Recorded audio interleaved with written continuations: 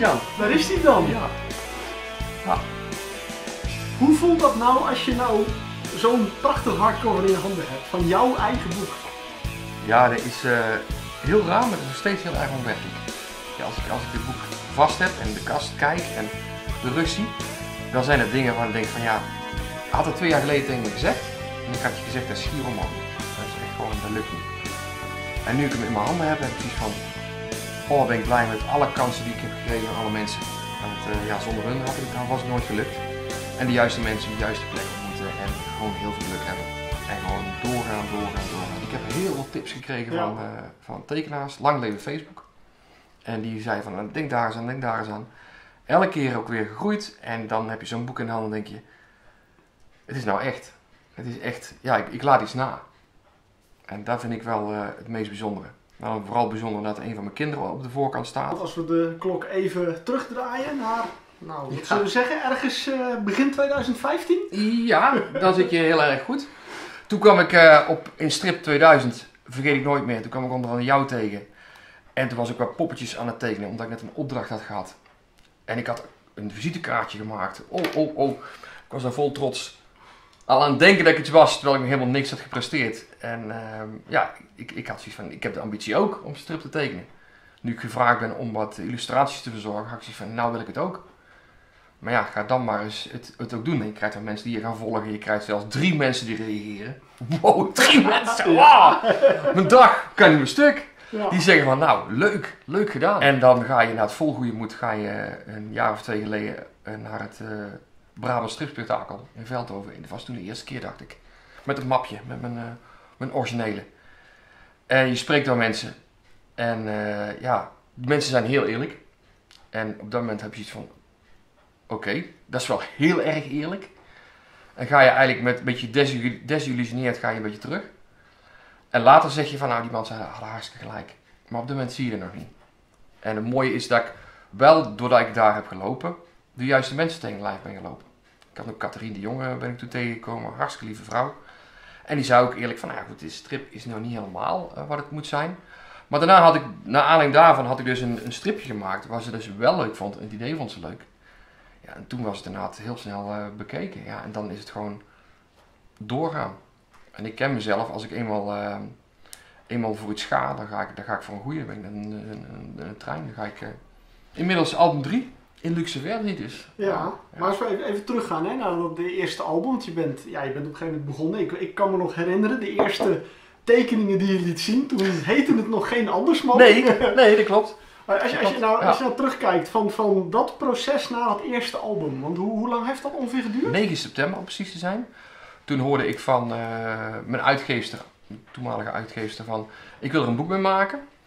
En toen, heb ik, toen zou het april zijn 3 eh, april, het jaar erop, waarop de internationale signeerbeurs was. Dus ik had eigenlijk die tijd om dat boek te maken.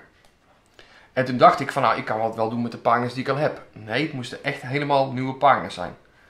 En hoe groot, hoe dik moet het boek worden? Ja, 25 pagina's. Maar goed, uiteindelijk 25 pagina's in een anderhalf maand klaar. Vraag me niet hoe ik het gedaan heb. Dat was echt elke vrije seconde, elke vrije minuut tekenen, tekenen, tekenen, tekenen, tekenen. En toen zei ze, ja, dat ziet er leuk uit. Ik, misschien maak ik boek 32 pagina's. dus weer pagina's erbij. Tot uiteindelijk het boek 48 pagina's telde. maar het wel gelukt was voor de deadline. En uh, ja, dan, dan ben je helemaal nieuw in inscannen en zo, weet je allemaal nog helemaal niks van. En hoe je het moet bewerken, weet je helemaal niks van. Dus toen zei mijn uitgever ook van Ralf, dit is uh, ja, niet op de juiste manier ingescand en er moet allemaal veranderd worden. Heel veel van geleerd echt ontzettend dankbaar van waar, wat ze me toen heeft geleerd. En dan zit je op zijn signeerbeurs tussen echt mensen die wat betekend hebben, die hebben iets gepresteerd. En dan mag jij daar aan je grote tafel helemaal vooraan. Want ja, er wordt een nieuw boek gepresenteerd. En dat ben jij. Ik had echt van, en als daar niemand komt? wat doe ik dan? Ja, dus ik, ik, kan, kan, me voor mij nog geen moment herinneren dat ik zo zenuwachtig ben geweest als toen die dag. Maar ja, het liep, liep toen hartstikke goed. En uh, mensen waren super vriendelijk. En uh, ja, ik denk dat ik vooral heel blij mag zijn dat het in België gepromoot was. Want Belgen zijn, uh, die denken anders over strip dan Nederlanders. Dan is, zoiets in een week uitverkocht en dan heb je iets van, oh chips, dat had ik niet verwacht. natuurlijk heel veel familie en vrienden die kopen, eerlijk is eerlijk. Maar toch, 150 stuks in, in een week. Dus toen was ik al, uh, ja, was ik eigenlijk al stiekem bezig met een deel 2. Maar ik wilde toen ook per se het in kleur hebben. Nou, goed, deel 2 is gekomen en daarna ook deel 3. En nu ben ik bezig aan eh, ja, het verhaal voor deel 4. Dus hoe raar kan het lopen? Heel Ja. raar. Heel En, raar. en, en dat in, nou ja, in twee jaar? In twee jaar. jaar tijd? Ja, ik Ja. lijk op Suske Wiske. Ja. maar als je, als je terugdenkt aan hoe je begonnen bent, en Mm. eh, ja, inmiddels heb je dan drie albums uit. Je hebt natuurlijk heel veel getekend. Je hebt heel veel, wat je ze- zegt, heel veel feedback gekregen. Is, is daardoor jouw, jouw manier van werken veranderd? Ja. Ja, ja, want als je mijn eerste album bekijkt, ter vergelijking nou met de derde, dan zie je al dat ehm, ik daar helemaal niks voor schetste. Ik tekende direct gewoon straight to paper, zoals Romanus zou zeggen. Meteen op papier. En ehm, ja, heel spontaan. Dus soms klopten dingen ook niet, waren verhoudingen ook niet goed. Ik heb een hele kritische vrouw, die zei ook van Rolf, de verhoudingen zijn gewoon helemaal niet goed, die benen zijn te kort. En ja, dus bij het tweede album had, had ik al meer dat ik ging schetsen. En wat meer achtergronden ging maken. En bij het derde album had ik zoiets van, nou, nou wil ik de dingen ook kloppen. Dus ben ik ook, zelf foto's gaan maken, ben erop uitgegaan. Ik heb op een gegeven moment ook gebouwen gefotografeerd. Hoe zien die eruit? Hoe, hè? Hoe wil ik dat, wat wil ik wat daar afspeelt? Dus je- gaat al heel anders kijken. En nou met vierde album is weer de volgende verandering dat ik voortaan digitaal ga inkleuren. Want in het tweede en derde album is alles nog met stiftjes gedaan. En als ik nou kijk van hoe ik nou mijn tekeningen maak, hoe dat digitaal eruit ziet, het is al zoveel professioneler. Dus mijn vierde album wordt ook gewoon en rustiger. Dus het gaat misschien wel langer duren nou. Maar wel digitaal ingekleurd. Je hebt van het begin af aan eigenlijk met Peter Buschot samengewerkt eh, als, als scenarist. Hoe, hoe is die samenwerking ontstaan? Nou ja, Peter was eh, op dat moment ook eh, eh, lid van de uitgeverij Malksblad. Dus die zat al heel diep bij het vuur wat betreft mijn, mijn publicatie. En terwijl ik wat strips aan het maken was, kreeg ik af en toe wel eens eh, eh, suggesties van teken die tekenaar is of doe die tekenaar is. En dan gaf Peter me dan een tip van, oh die houdt daarvan of dat vindt hij leuk. Bijvoorbeeld te noemen eh, Dirk van de Aura. En die zei bijvoorbeeld tegen mij van, hij doet aan eh, karate. Oh, daar kan ik wel iets mee. Ik kan wel een leuke grap maken. Dus en hij is politieagent. En ik, oh, daar kan ik ook wel mee. Ik bedoel, in Nederland, als we kijken hoeveel namen we hebben van politieagent, dat moet lukken. Alles ging trouwens in overeenstemming met de tekenaar, want ik heb altijd alle tekeningen laten zien en de schetsen laten zien aan de tekenaars. Want ik wilde per se dat de tekenaars niet beledigd zouden worden. De enige die voor gek gezet wordt is, is Anderman. Het meest gênante, in mijn deel 1 vond ik wel dat de, de grappen die mijn vrouw het leukst vond in mijn boek, waren stuk voor stuk van Peter. dat vond ik het meest gênante. Dus Peter, als je dit kijkt, bedankt. Het verhaal komt eh, van deel 3 en van 4 komt 100% van Peter. Daar ga ik nog wat voorbeduren, nog wat dingen bij bedenken. Maar altijd een overleg met Peter. Dus het scenario wordt, de synopsis wordt bedacht door Peter 100%. En het verhaal wordt een beetje verwerkt. Hoe het textueel eruit ziet, daar mag ik zelf een beetje bepalen. Hoe dingen gezegd worden, of dat is een beetje aan mij. Het leuke aan het derde album, dat dat natuurlijk hier in Bokstel zich afspeelt, hè? jouw hometown. Ja, Eh, niet per se toevallig. hoe ben je op het idee daarvoor gekomen? Nou, het mooie is, is dat ik eigenlijk in dit album wilde ik eh, een bepaalde winkel, in de, de, de boekwinkel hier in Bokstel, wilde ik eigenlijk in het zonnetje zetten. En heeft te maken met het feit dat ik, en al die jaren dat ik woonde, ze altijd voor mij er zijn en eh, dingen voor me doen. Dus ik had van, ik wilde een scène even in Bokstel laten afspelen. Dus had ik de, de, de, winkel erin gezet. Maar toen dacht ik van, waarom laat ik niet het verhaal zelf in Bokstel afspreken? Ik, eh, spelen, sorry. Ik kan alles fotograferen. Ik kan alles mooi bekijken. Ik kan precies denken van, oh hier kan een mooie scène afspelen, daar kan het iets doen. Dus zo ben ik eigenlijk, wat ik ook al zeg, ben ik echt gaan voorbereiden. Ben ik ook echt foto's gaan nemen. Die trouwens in mijn luxe album te vinden zijn. En eh, heb ik ook gezegd van, nou ja goed, eh, daar wil ik erin hebben, daar wil ik erin hebben. Ik vond het gewoon leuk om eens een keer niet een hele grote stad als Eindhoven of, of Rotterdam of, te pakken. Eh, maar gewoon echt een dorpje. Echt, ik denk van, nou, Boxel of all places. Wat trouwens wel leuk is om te weten. Ik was aan het verhaal begonnen. En in het scenario stond ook dat het Amalia zou zijn van koningin Willem-Alexander en koningin Maxima. Die ontvoerd zou worden. En niemand minder dan Carlo Boshart. Bekend van RTL 4. Die belde mij op.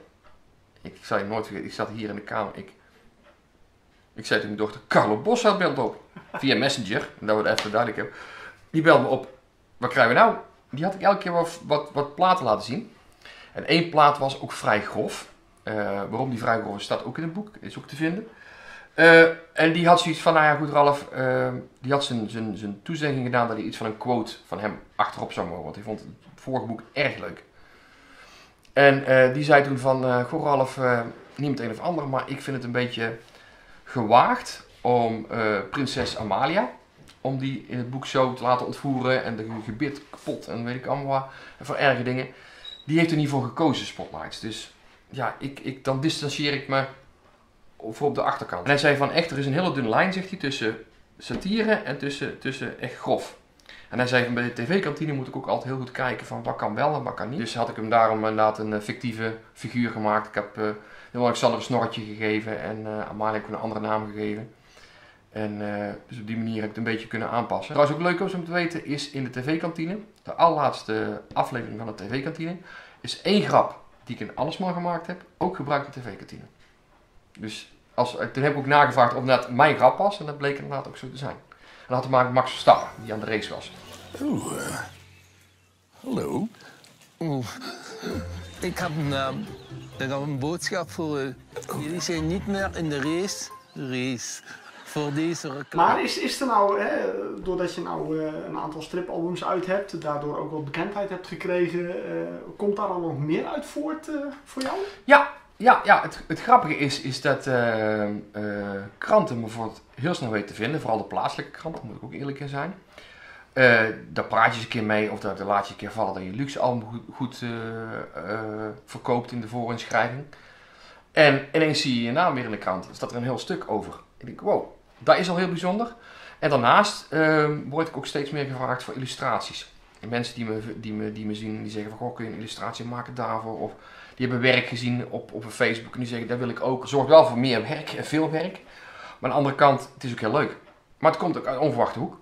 Zo ben ik ook gevraagd om, uh, om voor een folder uh, illustratie te verzorgen. Om voor een school de schoolregels te visualiseren. gevraagd om, om voor een bepaald soort, soort van kinderboek illustraties te maken. Dus ja, dat is allemaal nog een beetje, moet er goed besproken worden hoe we het gaan doen. Maar heel erg leuk. Heel erg leuk. Ja, en één ding die ik, die ik heel veel aan het doen ben, is, uh, is Willy van der Steen te vereeuwigen. Ik bedoel, er zijn veel mensen die daar kennelijk heel erg leuk vinden om hem op een plaat te zien. En ik weet, een goede kameraad van mij die is ermee bezig om een boek samen te stellen. En daardoor blijkt dat er toch heel veel mensen dat leuk vinden. En dan vraag mij vragen, kun je ook voor mij tekenen, een Willy van der Steen? Ja, dat kan. Op zich uh, is het volgens mij niet heel vreemd hè, dat mensen van Van der Steen bij jou komen. Nee, nee, nee. Vol, ik denk volgens dat mij uh, ben jij wel een Suske Wiske liefhebber. Uh. Heel erg, heel erg. Ja, ik ben eigenlijk vanaf kleins af aan laat opgegroeid met Suske Wiske. Die hebben me ook heel erg beïnvloed in de stijl. En ik heb zelfs een moment gehad in 2002 dat ik in een Suske Wiske boek stond. door Mike Verhagen inderdaad in de laatste vloek. Dus ja, ik, ik, er zijn tijden geweest inderdaad dat ik kon zeggen dat ik, dat ik bij de grotere Suske verzamelaars hoorde. Inmiddels niet meer, want ik heb een hele hoop eruit gedaan. Dus als je het goed bekijkt, het is niet zomaar aankomen waar je anders man. Er zit er eigenlijk al, al heel lang in. En heel lang ben je er al mee bezig. Alleen, ja goed, nu echt met, met boeken, dat is pas een jaar of twee jaar. Ja, oh. ja. Nou, ja, nou verander je een beetje van stripverzamelaar naar stripmaker, hè? Ja, inderdaad. Ja, ik, ben, ik was al veranderd van stripverzamelaar naar striplezer. Omdat ik uh, tijd heb gehad dat ik echt elk wisselwasje met Suske moest ik hebben. Ik ging naar dat postkantoor, uh, omdat toen met PTT kwam, die plaat, ik moest die platen hebben. De postzegels bij de Albert Heijn ben ik moment uh, aan de bedrijfsleiders in de jas gaan trekken. Mag ik alsjeblieft die platen? Ja, dat mag als je me loslaat. En uh, kazen ben ik gaan verhandelen om maar die theelepeltjes te krijgen. Dus ja, ze zeiden wel eens van die vent is echt gek. Mijn, mijn, mijn collectie is wel uitgebreid, behalve Suskwiske. Nog veel meer series die ik volg en die ik mooi vind. Want er is nog veel meer dan alleen Suskwiske. Maar uh, ja, nu, uh, nu produceer ik zelf. Ik vond het leuk om even met je te kletsen. Ja, even, insgelijks. Terugkijken naar het ontstaan van Andersman. En natuurlijk ook even vooruitkijken naar, uh, ja, naar de toekomst. Naar ja. het vierde album. Maar vooral ook even stilstaan bij hè, wat in, in Veldhoven op de Brabant Strip Spektakel gepresenteerd werd. Ja, zeker. prachtige hardcover. Ja, ja, ja heel erg gaaf. Een absolute mijlpaal. Dus, ja, met veel dank aan mijn uitgeverij. Uitgeverij ja. Bont, als ik dat toch even reclame mag maken. Daar is toch goed te zeggen. Ja, ja, ja. Zeker. Daar, daar kunnen Zeker. mensen hem ook bestellen. Ja, ja, ja. Of bij mij inderdaad via de website, maar ook bij, uh, bij uitgeverij Bont, dan kan dat gewoon. Dat is belangrijk, hè? Zeker. Maar ja. er zijn er nog maar een paar beschikbaar, denk ik, hè? Dus, uh... Ja, ik denk, de haast is wel geboden. Ja, ja, ja. voor, ja, voor de liefhebbers dan Ik zou het nooit hebben durven zeggen, maar dat kan ik nou hard op. Ja. ja. Nou, laten we hopen dat er van deel 4 ook een mooie hardcover komt. Ik ga mijn best doen. Succes. dankjewel, dankjewel.